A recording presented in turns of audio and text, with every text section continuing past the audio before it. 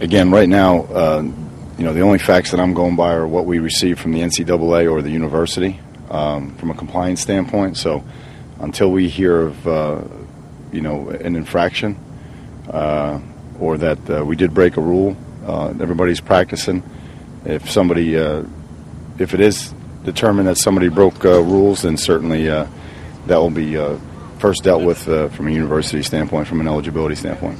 Oh, certainly, yeah. I don't, because I, I, don't know what the facts are. I, again, my job right now is to fully cooperate with the investigation, and uh, and nobody wants this to, you know, to to move along more quickly than I do. And the only way to do that is to fully cooperate. So, uh, and my role in this right now is to make sure the student athletes are honest, um, you know, with the NCAA and uh, obviously with university officials. But other than that, I have no contact with the uh, with the NCAA, and I have no contact with the uh, players on any particular issues that they were talking about.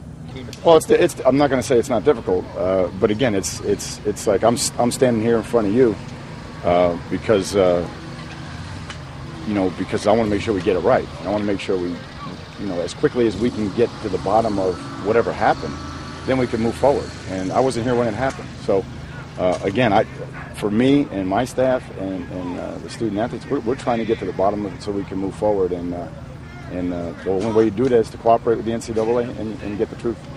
If if they were exposed to uh, Mr. Shapiro, uh, you know, clearly, um, you know, we, we have to make sure that we prevent that from going forward. So how do you do that? Well, you do that by getting to the facts, you know, by getting to the truth.